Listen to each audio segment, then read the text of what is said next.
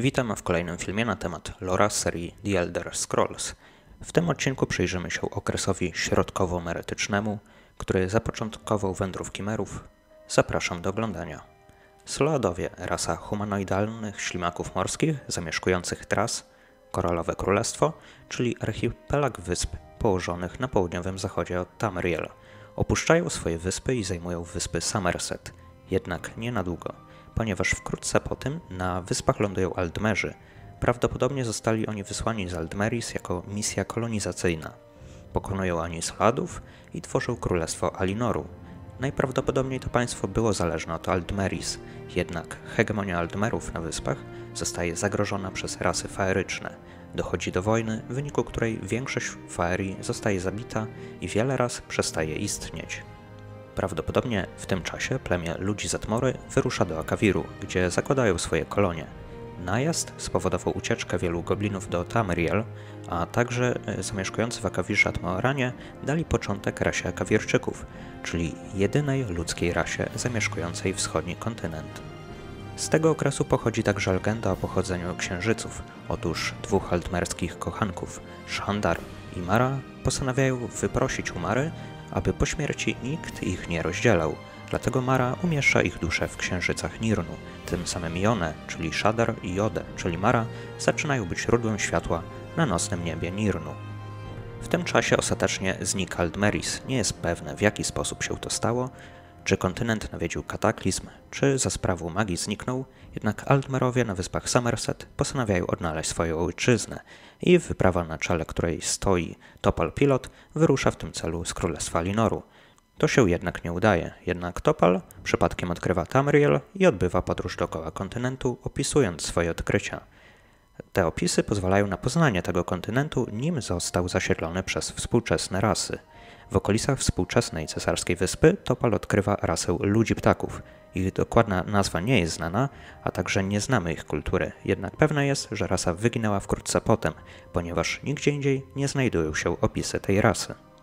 Po tym, gdy odkrycia Topala dotarły do szerszego grona Altmerów, ci zaczynają coraz częściej pojawiać się w Tamriel – Aldmerowie przeprowadzają najazdy na plemiona goblinów, których wykorzystują Walinorze jako siłę niewolniczą.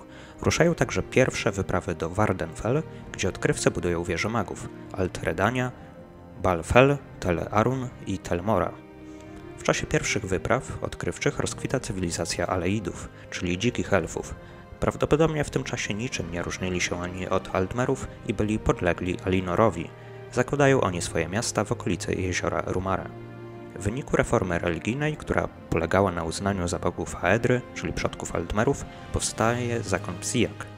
Zakonicy nie uznają reformy i udają się na wyspę Arteium, gdzie kontynuują wyznawanie dawnej aldmerskiej religii, nazywanej obecnie pradawnymi ścieżkami.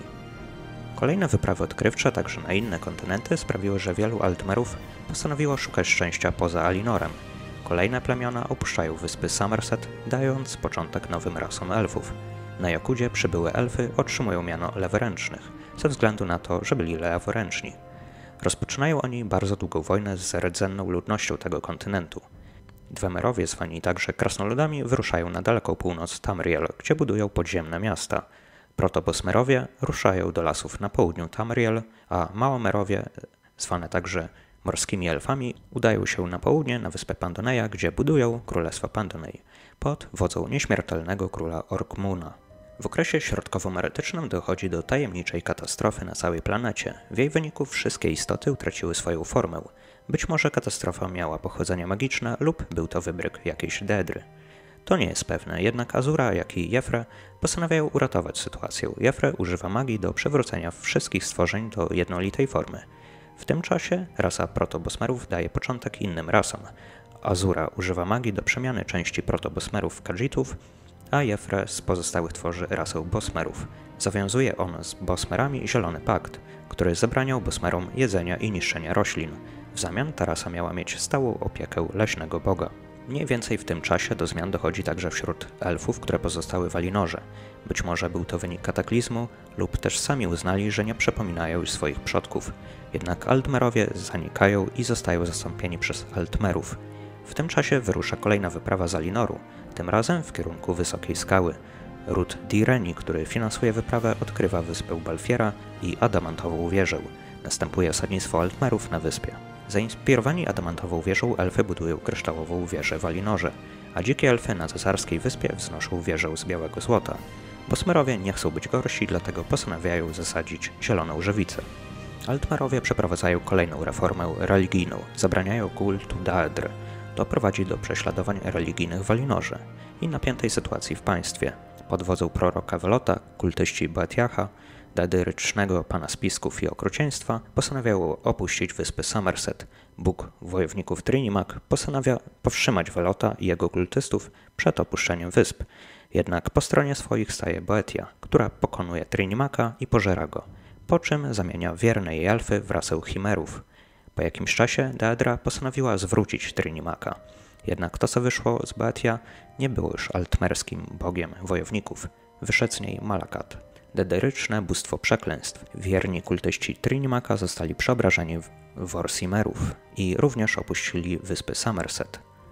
Oprócz Chimerów i Orsimerów, wyspy opuszcza także inna grupa, która nie zgadzała się z reformami religijnymi.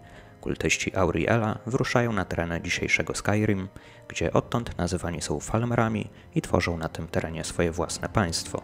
Co do Chimerów, to podążają oni za prorokiem Wlotem do Dwemerew, gdzie do tej pory Dwemerzy tworzyli swoje własne państwa. Między rasami dochodzi do wybuchu walk o terytoria.